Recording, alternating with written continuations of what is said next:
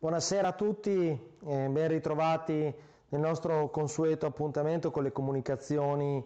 eh, legate all'emergenza, le decisioni che stiamo prendendo in questi giorni. Eh, un po' per fare il punto della situazione parto come al solito dai numeri, sono 26.379 le persone positive in Regione Emilia-Romagna, 104 più di ieri, anche questo è uno dei numeri più bassi in assoluto in termini di incremento dei contagiati nella propria regione, a fronte di un numero di tamponi che ormai si assesta, dall'inizio sono 211.652, ma ormai si assesta tra i 4.000 e i 5.000 tamponi eh, ogni giorno. Vi ricordo che sono ricompresi tra questi tamponi anche tutti i cosiddetti tamponi di verifica rispetto alla uh, questione del doppio tampone negativo che segna l'uscita definitiva eh, dal percorso Covid. Eh, tant'è vero che sono 14.251 le persone guarite dall'inizio eh, della pandemia, a cui si aggiungono ovviamente quei malati eh, che sono in via di uscita e quindi non hanno più la parte sintomatica, questo porta guariti, a un numero di guariti che eccede il numero dei cosiddetti infetti eh, attivi di 5.860 unità, cioè sostanzialmente sono 5.860 in più le persone guarite rispetto ai malati cosiddetti effettivi. Eh, è un dato molto importante, lo ricorderete, circa una settimana fa eravamo qua a celebrare quel famoso sorpasso no? eh, nei numeri che eh, definiva qualcosa di eh, fondamentale. Sono molto positivi anche eh, eh, le, i dati relativi al, alla pressione sul nostro sistema sanitario, si sono liberati 101 posti all'interno delle strutture ospedaliere della regione Emilia-Romagna Covid, eh, si sono uh, ulteriormente liberati 15 posti nelle terapie intensive. Anche questo, sapete, io lo calco tutte le volte perché è il numero fondamentale che segna la nostra capacità di resistenza a quello che è eh, oggigiorno il quadro eh, di, di infezioni più in generale. Modena sale a 3.766 persone positive, sono 8 in più in tutta la provincia di Modena rispetto alla giornata di ieri. Eh, qua diamo una prima notizia estremamente positiva, oggi a Carpi nessun nuovo positivo. Eh, rimaniamo quindi a 512 positivi, eh, è un dato importante, non avere nessuna positività in più nella giornata di oggi, lo reputo un dato assolutamente positivo. Purtroppo, purtroppo dobbiamo registrare la perdita di una persona ancora rispetto alla nostra comunità che porta 62 decessi dall'inizio eh, della pandemia. Eh, lo dico sempre, è una persona, poco importa se questa persona fosse anziano con altri problemi, eccetera, è una persona in meno nella nostra comunità e dobbiamo riflettere sul fatto che insomma, questa pandemia eh, sta lasciando eh, nei fatti, oltre che un, un grosso cambiamento del nostro modo di vivere, di stare assieme, perché la stiamo combattendo, dall'altro punto di vista eh, ci fa perdere persone che sono sempre state in questa comunità parte attiva e eh, non posso che eh, rappresentare tutti quanti nel momento in cui dico che ci uniamo a tutti coloro che hanno perso un proprio caro all'interno di, eh, di, questo percorso così difficile eh, e così, e così lungo che stiamo vivendo. Eh, da domani alcune importanti novità. Da domani eh, è uscita oggi una eh, ordinanza regionale eh, che sostanzialmente puntualizza alcuni elementi che sono, penso, assolutamente interessanti. Noi in questi giorni ci stavamo muovendo per costruire i cosiddetti accordi bilaterali, tant'è vero che ne avevamo firmato uno oggi pomeriggio col comune di Rolo ed erano in iter quello con Rio Saliceto e col comune di Correggio, ma l'ordinanza regionale eh, ci dice che ci si potrà spostare non solo nell'ambito provinciale ma in tutta la regione. Quindi sostanzialmente i nostri accordi regionali, eh, scusate, i nostri accordi bilaterali con i comuni di confine vengono eh, sorpassati da, da, questa, eh, da, questa, ordinanza regionale. Si può fare la spesa in auto soli ovviamente o, o accompagnati in auto da dei conviventi eh, per fare la spesa. Questo lo chiedo perché eh, sapete che c'è stata tutta la querelle su davanti, dietro, di fianco, dove, dove deve posizionarsi una persona in macchina me lo permetterete, lo trovo abbastanza di buon senso, se due persone condividono una, macch- eh, una casa possono condividere anche l'abitacolo, eh, l'abitacolo dell'automobile. Eh, è consentita l'attività sportiva a patto che sia ovviamente sempre all'interno del non contatto eh, personale, nelle strutture e circoli sportivi all'aperto, eh, con il rispetto ovviamente del distanziamento e di quelle eh, situazioni igienico-sanitarie. Quindi io vuol dire eh, la corsa e un'altra serie di attività che però non prevedono eh, un contatto o il non rispetto del distanziamento. Eh, rimangono ovviamente chiusi spogliatoi, palestre, piscine e gli altri luoghi di socializzazione che eh, sono quelli più ad alto rischio rispetto al, al spander, all'opportunità di espandere eh, l'epidemia stessa. Ora, alcune eh, velocissime eh, riflessioni. Sono 90.000 le mascherine che eh, la protezione civile sta imbustando all'interno degli spazi della protezione civile, sono tre per ogni famiglia. Eh, nella prossima settimana, verso la fine della prossima settimana, comincerà la spedizione direttamente a casa, quindi ve le troverete all'interno della buchetta delle lettere eh, sono 60.000 che sono arrivate dalla regione, le altre sono state le varie donazioni e le altre situazioni che hanno concorso a permetterci di avere un numero di eh, mascherine chirurgiche eh, che possiamo appunto distribuire a tutta eh, la popolazione. Stamattina vi ho dato già informazione di una scelta che abbiamo fatto in giunta e che sottoporremo eh, appena arriveremo alla, alla, fase di rendiconto del bilancio comunale voglio essere ancora più preciso. Eh, nei giorni scorsi sono giunte, al di là della manifestazione, anche sollecitazioni, in particolare da Rete Imprese Italia, che ha segnalato la, eh, le problematiche legate a un pezzo eh, del mondo dell'economia molto particolare, che è quello oggi fa riferimento al tema del commercio e dal eh, piccolo artigianato. Eh, vi erano alcune richieste di defiscalizzazione, eh, che sono poi state riprese eh, insomma, da vari attori. Eh, in pochissimo tempo abbiamo cercato mh, mm, di fare una simulazione di quanto significasse questo in mancato introito per l'ente locale in termini fiscali. Questo ci ha portato a, eh, diciamo così, trovare una cifra attorno ai 930 mila euro, quindi l'impatto di questa eh, eventuale mancata entrata sarebbe attorno ai 930 mila euro. Questo scorrendo quello che è eh, eh, l'attività che stiamo facendo dal punto di vista ragionieristico che ci porterà a determinare l'avanzo eh, del Comune di Carpi e anche ovviamente dell'Unione eh, dei Comuni, ci fa pensare ovviamente, e lo confermo, che si potrà attuare questo modello di defiscalizzazione, con una premessa che è fondamentale. Stiamo leggendo sui giornali che nel cosiddetto decreto maggio, in preparazione da parte del governo, vi potrebbero essere gli spazi appunto per manovre direttamente nazionali di questo tipo di defiscalizzazione, qualora queste mh, mm, si verificassero, eh, noi siamo pronti a mantenere comunque quella cifra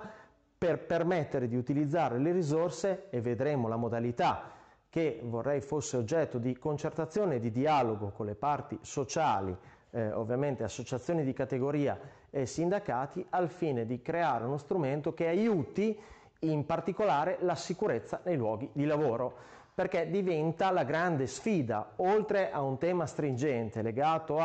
alla liquidità e la mancanza di liquidità a quelle imprese, vi è tutto il tema della ripresa non soltanto in termini di riapertura delle serrande, ma di quello che accade dentro quei locali, nella sicurezza reciproca, nella sicurezza di chi ci lavora dentro, nella sicurezza dei dipendenti. Ovviamente noi intendiamo questo intervento non come un intervento a solo una categoria, ma a una filiera, perché ovviamente questo deve dare l'opportunità di muovere tutto il resto del percorso economico che sta dietro, ivi compreso la parte produttiva. Avere le risorse per pagare i fornitori significa pagare lo stipendio di persone che lavorano nell'altro ambito e che ovviamente se non hanno la parte commerciale eh, attiva lavorano senza poter vendere il prodotto stesso mi sembra abbastanza naturale eh, ricordarlo. Non è l'unico impegno che ci prendiamo, questa è la parte che è necessario dire in questo momento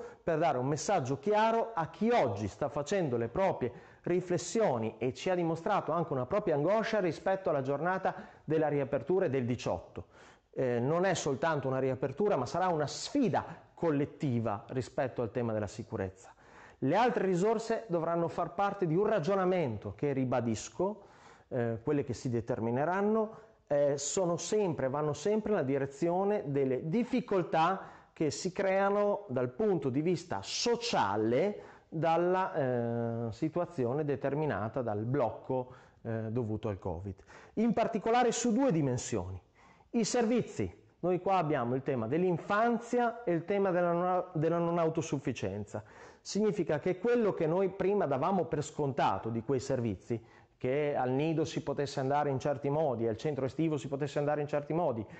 a domicilio si potesse andare in certi modi, laddove dovevi assistere una persona disabile o non autosufficiente, ci rendiamo assolutamente conto che questi servizi oggi hanno una complessità in più, che è legata al fatto che la situazione particolare eh, del Covid, del, dell'assicurare non infezioni, assicurare strumenti che mettano in sicurezza quelle attività, diventa fondamentale. Quindi noi siamo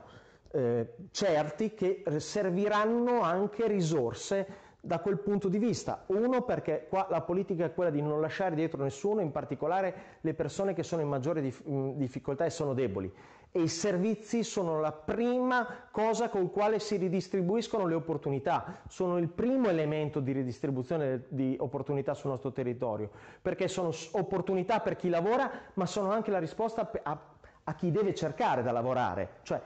sono quelli che tengono sostanzialmente in equilibrio il nostro sistema sociale, il welfare, detta come va detta. E dall'altro punto di vista, eh, una cosa che oggi non riusciamo a quantificare. Questa cosa che noi non riusciamo a quantificare è cosa succede nel momento in cui, se con responsabilità agiamo e ci comportiamo e continuiamo ad avere dati che ci permettono di fotografare questo livello che sostanzialmente è pari allo zero o da questo si discosta poco in termini di numerici eh, di propagazione del virus, all'apertura delle altre attività. Ecco, è il grande timore, ma io lo dico con, eh,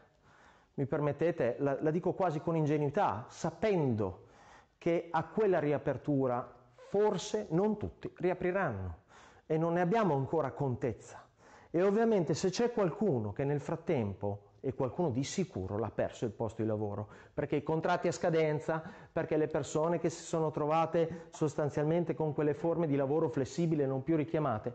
avranno una necessità di sostegno sociale ed economico. Ecco, noi dobbiamo essere pronti, quindi con la parte di avanzo che si determinerà dalla gestione in quel passaggio economico che andremo a fare, come giunta siamo pronti a dire spero non da soli, perché penso che questo ragionamento debba coinvolgere anche altri attori cittadini, a dire che noi di quella che potremmo definire, io non sono un amante delle etichette dei neologismi, ma la povertà Covid, cioè quelli che oggi si trovano in una situazione di indigenza e hanno perso il lavoro a causa non della crisi economica, ma delle crisi indotte dal Covid stesso e quindi sostanzialmente si trovano in una situazione drammatica, eh, li abbiamo visti, io ribadisco da sindaco, 1800 che sono poi state quelle regolari, 1700 domande soltanto a Carpi di borse alimentari, sono un segnale che non può essere ignorato. Significa che 1700 nuclei familiari, ci sarà la famiglia da una persona, ma c'è anche la famiglia con più persone, in quelle domande ci sta dicendo che aveva liquidità inferiore a 5.000 euro.